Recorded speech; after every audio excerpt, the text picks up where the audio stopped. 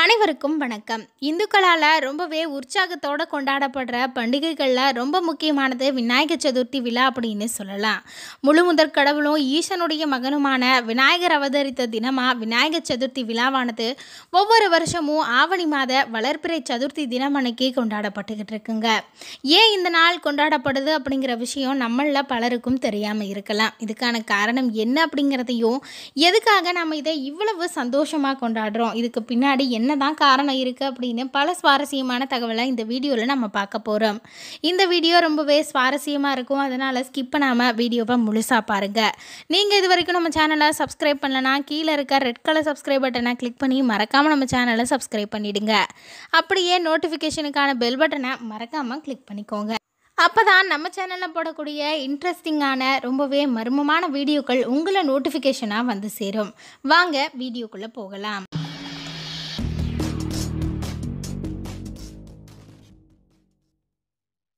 ஒவ்வொரு வருஷமும் ஆவணி மாதத்தில் வரக்கூடிய வளர்பிறை சதுர்த்தி தினம் அன்னைக்கு தான் நாம் இந்த மிக மிக உற்சாகமான ஒரு திருவிழாவை கொண்டாடிக்கிட்டு இருக்கோம். விநாயகர் சதுர்த்தி அப்படின்னு சொல்லலாங்க. இந்த வருஷமும் ஆவணி மாத ஆறாம் நாள் சனிக்கிழமை விநாயகர் சதுர்த்தியை நாம் கொண்டாட போகிறோங்க இந்த விழா ரொம்ப ரொம்ப விமர்சையாக கொண்டாடப்படுற ஒரு விழா அப்படின்னு சொல்லலாங்க. அப்படிப்பட்ட இந்த தருணத்தில் விநாயகரை நாம் ஏன் கொண்டாடுறோம்? விநாயகர் சதுர்த்தியை எதுக்காக நம்ம கொண்டாடுறோம் அப்படிங்கிற வரலாறை நம்ம தெரிஞ்சுக்கிறது ரொம்பவே அவசியம். இதுக்கு பின்னாடி ஒரு மிகப்பெரிய ஒரு புராண கதை சொல்லப்படுது. மன்னர் சத்ரபதி சிவாஜியுடைய காலத்திலேயே விநாயகர் சதுர்த்தி விழா ரொம்ப ரொம்ப பிரபலமாக இருந்தாலும் கூட நாம் பார்க்கும் விநாயகர் சதுர்த்தி விழா கொண்டாட்டங்கள் மற்றும் ஊர்வலங்களுக்கு பிள்ளையார் சுழி போட்டவர் இந்திய விடுதலையில் முதல் தலைவராக இருந்த பாலகங்காதர திலகர் தான் அப்படின்னு சொல்லப்படுது.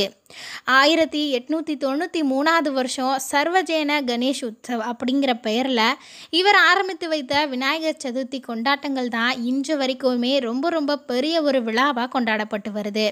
சரி புராணங்களின்படி இதுக்கு ஒரு கதை சொல்கிறாங்கன்னு சொன்னீங்களே அது என்னன்னு நீங்கள் கேட்கலாங்க. அரக்கர்களுடைய கொடுமையில் இருந்து தங்களை காத்திட தவம் இருந்த சிவபெருமானிடம் தேவர்கள் முறையிட்டிருக்காங்க.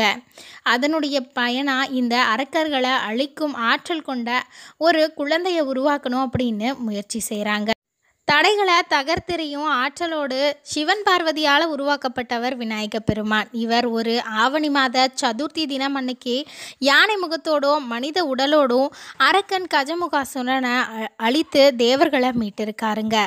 அதனால் அன்று முதல் இந்த தினத்தை விநாயகர் சதுர்த்தியாக கொண்டாடி வரும்.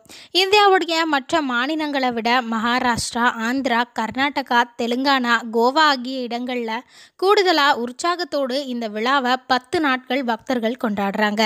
இந்தியா மட்டும் இல்லாமல் நேபாளி அமெரிக்கா மொரீஷியஸ் ஆகிய நாடுகள்லேயும் இந்த விழா சிறப்பாக கொண்டாடப்படுது.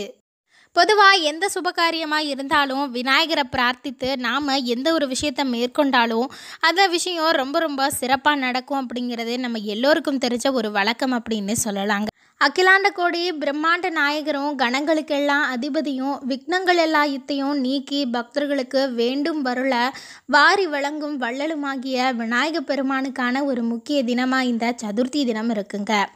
இந்த சதுர்த்தி தினத்தில் நோம்பிருந்து நாம் விநாயகரை வணங்கும் போது நமக்கு பேரருள் பெற்று கிடைக்கும் அப்படின்னு சொல்கிறாங்க இஷ்டி சிக்துகளை பெறவும் நினைத்த காரியத்தை நாம் நிறைவேற்றவும் செய்யலாம் அப்படின்னு சொல்லப்படுதுங்க. இந்த விரதம் மேற்கொள்ளும் முறையை பற்றியும் நாம் தெரிஞ்சுக்கணும். அதிகாலையில் எழுந்து நீராடி நித்திய கர்மானுஷ்டானங்களை முடித்ததுக்கப்புறமா பிரார்த்தனை வழிபாடுகளை மேற்கொள்ளணும். ஆலய தரிசனம் முதலியவற்றில் ஈடுபடலாம் அப்படின்னு சொல்லப்படுது. மத்தியானம் ஒரு பொழுது மட்டும் உண்டு இந்த விரதத்தை நீங்கள் மேற்கொள்ளணுமா? நல்லெண்ணெய் எதுவும் சேர்க்கக்கூடாது அப்படிங்கிறது ஒரு விதியாகவும் இருக்குங்க. இரவில் பட்டினி இருக்கணும் அப்படின்னு சொல்கிறாங்க அப்படி பட்டினி இருக்க முடியாதவங்க பால் பழம் அல்லது பலகாரம் உண்ணலாம் அப்படின்னு சொல்லப்படுதுங்க. வீட்டிலேயே பூஜைகளோட வழிபாடை விரிவாக இந்த விரதத்திற்கு நீங்கள் செய்யலாம் அப்படின்னு சொல்லப்படுது. ஈசான திக்கில் பசும் சாணியால் மொழுகி தூய்மையாக்கப்பட்ட வெள்ளை கட்டப்பட்டு தயார் செய்யப்பட்ட ஒரு இடத்துலையோ அல்லது பூஜை அறையிலேயோ மாவிளை தோரணங்களால் சிறிய வாழை மரம் முதலவற்றாலையும் அலங்கரிக்கணும்னு சொல்கிறாங்க அங்கே ஐந்து கும்பங்களை முறைப்படி ஸ்தாபித்து சித்த கணபதி வித்ய கணபதி மோஷா கணபதி மகா கணபதின்னு மூமூர்த்திகளையும் பிரதிஷ்டை செய்யணும் அப்படின்னு சொல்கிறாங்க அதுக்கப்புறமா பூஜைகளை மேற்கொள்ளலாம். தமக்குரிய புரோகிதரையோ அல்லது பக்கத்தில் இருக்கக்கூடிய கோவில் அர்ச்சகரையோ அழைத்து இந்த பூஜையை நீங்கள் செய்யலாம் அப்படின்னு சொல்லப்படுது சங்கல்பத்தோடு ஆரம்பித்து பிராமண அணுக்கை விக்னேஸ்வர பூஜை புண்ணியாக்க வாசம் பஞ்சகவச்ச பூஜை முதலியவற்றை செய்யணுமாங்க.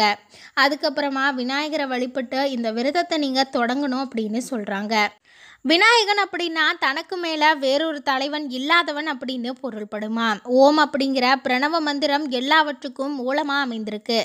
ஓம் அப்படிங்கிற வடிவமாகவும் பிரணவ பொருளாகவும் விநாயகர் விளங்குறாருங்க. சிவபெருமானின் மகனான விநாயகர் பூதங்களுடைய தலைவராகவும் இருந்திருக்காரு. அதனால் அவருக்கு கணபதி அப்படிங்கிற பெயரும் இருக்குங்க. விநாயகர் ஒரு முழுமுதற் கடவுளும் ஈசனுடைய மகனுமாக இருந்தனால அந்த தினத்தை நாம் ரொம்ப முக்கியமாக கொண்டாடி வரோம். மன்னருடைய சத்திரபதி காலத்தில் இருந்தே இந்த வழக்கமானது இருந்திருக்குங்க. முகலாயர்களுடைய அடக்குமுறைக்கு எதிராக இந்த ஒரு முக்கிய நிகழ்வானது நடந்திருக்கு அப்படின்னு சொல்கிறாங்க முகலாயர்களுடைய அடக்குமுறைக்கு எதிராக இந்துக்களை ஒன்று திரட்டுவதற்காக இப்படி ஒரு பொது விழாவானது விநாயகர் சதுர்த்தியை மன்னர் சிவாஜி நடத்த உத்தரவிட்டாராம். அதன்படி தான் இந்த ஒரு விழா மறுபடியும் எல்லாராலையும் கொண்டாடப்பட்டு வந்துட்டுருக்கு அப்படின்னு சொல்கிறாங்க மன்னர் சத்திரபதி காலத்தில் இந்த விழா இருந்தாலும் கூட இது நடக்க பாலகங்காதர திலகர் தான் முக்கிய காரணம் அப்படின்னு சொல்லப்படுது. கயமுகன் அப்படிங்கிற அரக்கன் சிவபெருமானோட வரங்களை பல பெற்றிருந்திருக்காரு. இந்த வரத்தின் மகிமையால் தேவர்களையும் மனிதர்களையும் கொடுமைப்படுத்தி வந்தாராம். அவருடைய கொடுமை தாங்காமல் இந்த தேவர்களும் மக்களும் சிவனிடம் அதை பற்றி சொல்கிறாங்க தங்களை ம கயமுகன் ரொம்பவே கொடுமை செய்கிறதாகவும் அவங்க சொல்லியிருக்காங்க. கயமுகனை சம்காரம் செய்ய தேவர்களை காப்பாற்றுவதற்காக விநாயக பெருமான் சதுர்த்தி அன்னைக்கு அவதரிக்கிறாரு. விநாயகர் கயமுகனோடு போரையும் செய்கிறாருங்க ரொம்பவே கடுமையான போர் நடந்திருக்கு. அவனுடைய ஆயுதங்களால் அழியாத வரம் பெற்றவர் அப்படிங்கிறது ரொம்பவே தெரிஞ்ச ஒரு விஷயம்தான். விநாயகர் தன்னுடைய வழுக்கம்பை உடைத்து சிவ மந்திரத்தை உச்சரித்து ஏவ அந்த கயமுகனும் சாய்ந்திருக்காருங்க. அதுக்கப்புறமா அவன் பெருச்சாளி வடிவத்தில் எதிர்த்து வந்ததா சொல்லப்படுது. விநாயகர் அவன் மீது கருணையை புரிந்திருக்காரு. அவனுடைய அறியாமை அகன்று விநாயகரை வணங்கி அவன் நிற்கிறாங்க. அதுக்கப்புறமா தன்னுடைய வாகனமாக ஆக்கி விநாயகர் பெருமான் அவனுக்கு அருளையும் புரிகிறாரு. விநாயகர் சதுர்த்தி அப்படின்னா நம்ம ஊருக்குள்ளே இருக்கக்கூடிய எல்லா இளைஞர்களும் சேர்ந்து ஒரு விநாயகர் சிலையை வாங்கி அதை ஆற்றில் கரைக்கிறத நம்ம பார்த்துருப்போங்க. இதுக்கு செய்ய வேண்டிய முக்கியமான அம்சங்கள் என்ன? எப்படி இதை கொண்டாடணும் அப்படிங்கிறதையும் நம்ம தெரிஞ்சுக்கணுங்க. விநாயகர் சதுர்த்தி அன்னைக்கு விநாயகரை வைக்கக்கூடிய இடத்தை சுத்தம் செய்து அலங்காரம் செய்யணுமா? வாழை மரம் மாயிலை தோரணம் கட்டி பூஜை அறையில் சுத்தமான பலகையை வைத்து கோலம் போடணும் அப்படின்னு சொல்கிறாங்க அதுக்கு மேலே தலைவாழை இடையை போட்டு நுனிப்பக்கம் வடக்கு பக்கமாக இருக்கிற மாதிரி வைக்கணும். இந்த இலையில் பச்சரிசியை பரப்பி அந்த அரிசியின் மீது களிமண்ணால் செய்த விநாயகருடைய விக்கிரகத்தை எழுந்துருள செய்யணுமா? விநாயகர் சதுர்த்திக்கு களிமண்ணால் பிள்ளையார் தான் ரொம்ப ரொம்ப விசேஷமானது அப்படின்னு சொல்கிறாங்க விநாயகர் சிலைகள் முக்கால் அடியிலிருந்து எழுபது அடி வரைக்கும் பல பல வித்தியாசமான வடிவங்கள்லையும் நிறத்தலையும் செய்யப்படுதுங்க. விநாயகருக்கு மங்கள ஆரத்தி காட்டி வாழைப்பழம் மாம்பழம் பலாப்பழம்னு முக்கணிகளையும் கரும்பு எள் கடலை அப்பம் மோதகம் பொறி உருண்டைவற்றையும் இது எல்லாத்தையுமே நிவேதனமாக செய்து கணேச அஷ்டாங்கம் கூறி பூஜையை செய்து அவரை வழிபடணும். விநாயகருக்கான புராணம் படித்து மங்கள ஆரத்தி எடுக்கணும் அப்படின்னு சொல்கிறாங்க மறுநாள் புனர் பூஜையை கொண்டாடணுங்க. தயிர் சாதம் நெய்வேத்தியமாக செய்யலாமா? அதுக்கப்புறமா விநாயகர் சதுர்த்தியை நிறைவு நாள் அன்னைக்கு தற்காலிகமாக நிறுவப்பட்டிருந்த அந்த விநாயகருடைய சிலைகளை எல்லாம் ஊர்வலமாக எடுத்துகிட்டு போய் நீர்நிலைகளில் கரைக்கிறது வழக்கம். தான் இதுதான் விநாயகர் சதுர்த்தி நம்ம காலம் காலமாக கொண்டாடிக்கிட்டு வர ஒரு முக்கியமான வழி அப்படின்னு சொல்லப்படுது. விநாயகரை மருத இலையால் வழிபட்டால் மகட்பேறு கிடைக்கும் அப்படின்னு சொல்கிறாங்க அரச இலையால் வழிபடும் போது எதிரிகள் வீழ்வாங்களாம். அகத்தி இலையால் வழிபட்டால் துயரங்கள் நீங்கும்னோ வில்வ இலையால் அர்ச்சனை செய்தால் இன்பம் பெருகும்னு சொல்கிறாங்க அதனால் உங்கள் வீட்டில் நீங்களும் இந்த முறைப்படி வழிபட்டு விநாயகருடைய அருளை நீங்காமல் பெறலாங்க. வெள்ளருக்கால வழிபட சுகம் கிடைக்கும்னோ மாதுளையிலால் வழிபட்டா நற்புகழ் அடைவாங்கன்னு சொல்லப்படுது. கண்டங்கத்திரி இலையால் வழிபட்டா லக்ஷ்மி கடாட்சம் கிடைக்குமா அதனால் நீங்களும் இந்த விநாயகர் சதுர்த்தி அன்னைக்கு வழிபடும்போது இந்த இலைகளை மறக்காமல் பயன்படுத்தி பல நற்பலன்களை பெறலாங்க. இதை பற்றி நீங்கள் என்ன நினைக்கிறீங்கன்னு கமெண்ட் பாக்ஸில் மறக்காமல் கமெண்ட் பண்ணுங்கள் நீங்கள் எப்படி சதுர்த்தி தினத்தில் பூஜை செய்வீங்க? எப்படி கொண்டாடுவீங்கன்னு கமெண்ட் பாக்ஸில் மறக்காமல் கமெண்ட் பண்ணுங்கள் இந்த வீடியோ உங்களுக்கு பிடிச்சிருந்தா லைக் பண்ணி மறக்காமல் உங்கள் ஃப்ரெண்ட்ஸ்க்கு ஷேர் பண்ணுங்கள் இது மாதிரி பல சுவாரஸ்யமான ஆன்மீக தகவல்கள் நீங்கள் தெரிஞ்சுக்கணும்னு நினச்சிங்கன்னா கீழே இருக்க ரெட் கலர் சப்ஸ்கிரைப் பட்டனை கிளிக் பண்ணி நம்ம சேனலை மறக்காமல் சப்ஸ்கிரைப் பண்ணிவிடுங்க நன்றி.